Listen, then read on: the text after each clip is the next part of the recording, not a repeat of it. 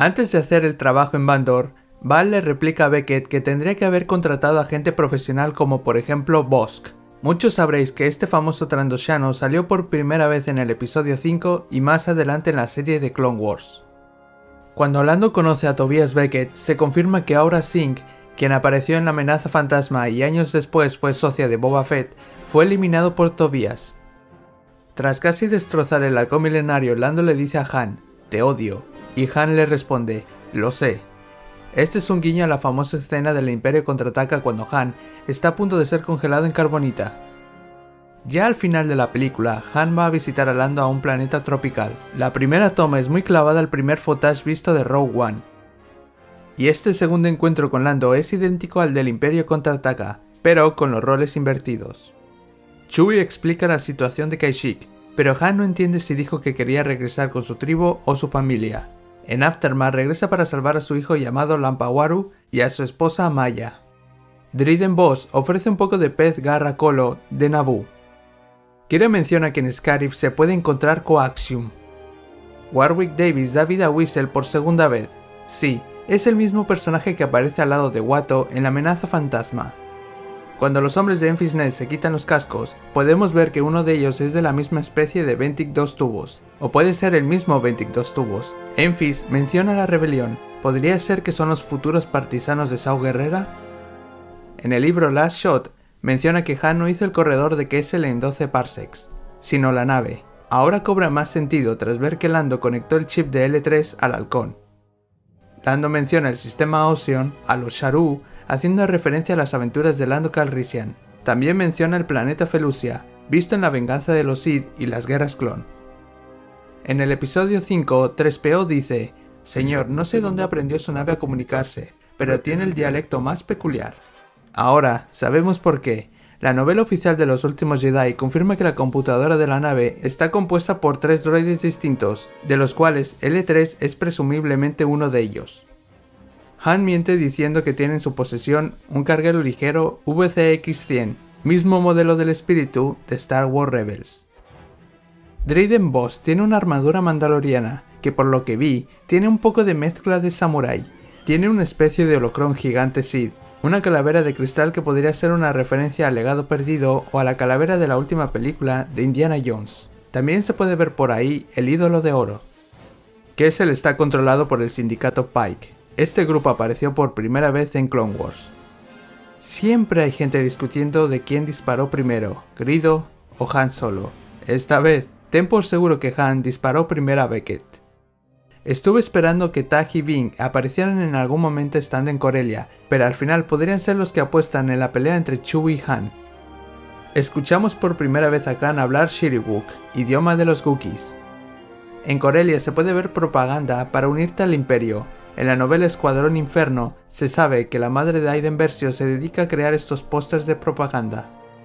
Incluso se puede escuchar el tema del imperio y también se ve un destructor imperial que fue inspirado en un concept art de Colin Catwell. Kira menciona que Driden Boss le enseñó Teraskasi, artes marciales que tienen el mismo nombre de un videojuego de Star Wars que se lanzó en 1997. Los guardias pantorianos también sabían estas artes marciales, en Una Nueva Esperanza, Han menciona que los Wookiees son famosos por arrancar los brazos de sus rivales. En Kessel pudimos ver una demostración. Tobias hace una jugada bastante parecida a la que R2 le hace a Chewbacca en el episodio 4. Tras perder contra Beckett en el de Yarik, Chewie golpea el tablero, haciendo que dos figuras desaparezcan. John Berg y Phil Tippett originalmente crearon 10 figuras, pero Lucas solo eligió 8 para Una Nueva Esperanza, porque sentía que eso era todo lo que podía caber en el tablero, esas dos figuras desaparecidas son las que se quedaron fuera. Lando dice que las colonias de minas son lo peor. Irónico, años después acaba siendo el varón administrador de una colonia minera de gas tibana en Bespin. Hablando de Bespin, en el halcón, Calrissian tiene una figura de la ciudad de las nubes. El beso entre Kira y Han es idéntico al beso con su futura mujer. El traje de Tobias como guardaespaldas es el mismo que usa Lando en el retorno del Jedi, Puede que Han lo hubiera guardado todo ese tiempo. Un gángster de los gordos está reuniendo un equipo en Tatooine.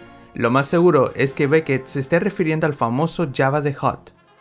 Ahora sabemos que 20 parsecs es lo estándar en la carrera de Kessel. Las fauces que tanto se mencionaban en leyendas vuelven al canon actual. Kira menciona al cartel Hot y a la Federación de Comercio. Por fin se da a conocer el origen de los dados dorados que vimos en el episodio 4 y 8. Clint Howard, hermano del director Ron Howard, interpreta al dueño de las peleas de droides en Kessel. Anthony Daniels, muy conocido por interpretar a C3PO en todas las películas, aquí interpreta a uno de los Wookiees que logra escapar de Kessel. Han fingiendo activar el detonador térmico es una referencia a la escena de Leia en el episodio 6. Rio Durant se esconde por el odio hacia los de otra especie. En Throne se sabe que el emperador no tiene ningún problema con los aliens, pero como los separatistas estaban formados por sistemas no humanos, la gente los menosprecia por haber elegido el bando enemigo en las guerras clon.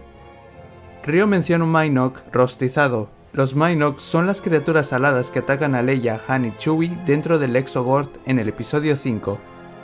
Moloch atropella un droide de protocolo imperial RA-7, mismo modelo que AP-5, droide que se ve en la serie de Star Wars Rebels. En la versión original, Han llama a Chewie Moff Milker. En el despertar de la fuerza, Han usa el mismo insulto para un Carplut.